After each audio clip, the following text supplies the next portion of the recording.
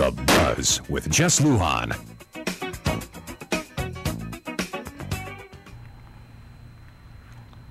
Hey, good evening, Guam. I'm Jess Lujan. Welcome to this edition of The Buzz. I'm really excited tonight. I got former Lieutenant Governor, now Chairman of the Chamber of Commerce, and of course, the former Legislative Oversight for Finance. Whew, the hot seat nowadays, right? Anyway, hey, Kaleo, it's good to see you. Good to see you, Governor. Let's just go right to a point where we, uh, we left off basically back in 2005. You wrote the synopsis on, uh, on our trip to Okinawa when we first heard, when at least we first heard uh, as lawmakers here in Guam back then, about the military built-up and this is what you wrote, and I, am just going to read the first paragraph. The U.S. Department of Defense has negotiated relocation costs for the government of Japan for the movement of 8,000 Marines from Okinawa, Japan to Guam. Details of the planned realignment have been scarce, and the government of Guam officials have received no details on the extent of the realignment over the long term or any insight into the needs to support shifts in military resources. And it goes on, and then some of the things that you pointed out here were basically political status, voting member in Congress, tax code revision, Jones Act reform, uh, airline, airline routes, port improvement, healthcare, unified school system with additional schools, integrated uh, and upgrade of existing water systems, uh, upgrades of public safety facilities, community and cultural attraction, return of excess lands with no conditions, mass transit system, solid waste management, recycling programs, community, community impact mitigation programs, territorial highway projects, federal procurement uh, equality to Guam-owned businesses.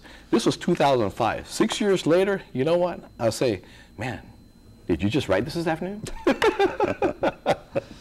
well, no. Um, back then we were in the planning stages, mm -hmm. and, and, and that was a, a plan of action, uh, a, a, roadmap, if you will, to try to make a successful transition uh, for the military realignment efforts from Okinawa to Guam. Mm -hmm. And as you know, we, we, took a trip together yes. with a group of senators down mm -hmm. to mm-hmm. Okinawa to take a look at what Okinawa had done uh, to uh, support uh, the mm-hmm. military mission.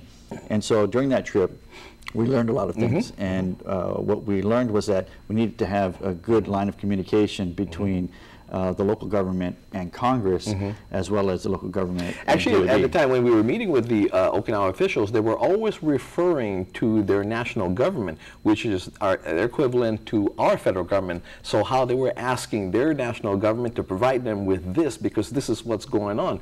They needed these for mitigation purposes. So their national government is our version of the federal government. Right. Yeah. Mm -hmm. And so what we were looking at was uh, how to make this work uh, in the time frame. At that time, the time frame that we are looking at was very short, mm -hmm. and uh, I'm glad to see that the time frame is stretched out mm -hmm. so that the impact on, on a, the inflationary impact uh, to the island uh, could be mitigated. But uh, the, the, the points raised were um, points of discussion mm -hmm. so that we could see improvements in the infrastructure and the quality of life uh, for everyone that calls Guam home, mm -hmm. not just on base or, off base, That's but right. for everybody mm -hmm. here. Mm -hmm. So that was really the point of the paper, and, and as we uh, toured Okinawa, uh, we saw the improvements uh, overall that were made as a result of them mm-hmm. hosting mm-hmm. uh, these bases uh, in Okinawa. So when we came back home, you know, we dra drafted the mm-hmm. paper to ensure that, you know, these were some of the things that we captured uh, as a matter of fact, as a result of you drafting your position paper on our trip over there, uh, quite a few resolutions came out of, of that from the from the legislature at the time to present to not just leaders here, to our delegate, also to Congress at the time, also because actually when we were when we were in Okinawa, I remember the uh, the State Department was was sitting down with the Japanese Diet, actually negotiating in the negotiating table at the time as we were visiting Okinawa. That was when, huh? That was a long time ago. yeah, it was a long time ago. You know, you always said at the time, too, that that was the time. It was important for us to make sure our voices are heard in not only, not only in the areas here of identification, but one of the top things you said, this is the time to get our, our political self-determination. This is the time. Let's not miss this boat. You know, political self-determination, uh, political status, mm -hmm. if you want to call it that, uh, is an important uh, piece for this community for economic growth mm -hmm. uh, and for um, self-respect. Mm -hmm. But uh, the discussion of political status has occurred long before the buildup. Sure, it, sure. it was a piece, a centerpiece in, in political life on Guam for many decades. And both uh, the leadership in Guam and in the United States, uh, in the White House, the Congress, and at the Department of Defense, recognize that that issue should be on the table for reasons not related to the buildup, but for more strategic reasons for uh, not just national security, but also for economic sustainability and viability of the region. Um, and so here we, we have now the attention of the U.S. Congress. You know, um, we should use that attention to say we need to come back and sit, uh, to the table and, and talk about this issue.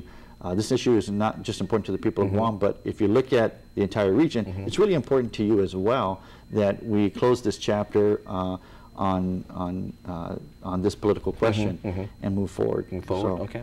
I tell you what, in this next block, uh, we're going to be able to open up the phone lines for your your calls. Uh, give us a call and give us your views. 632-8255, 632 talk uh, to give us a call tonight. But we'll be right back. More with uh, former Lieutenant Governor Kaleo Moylan.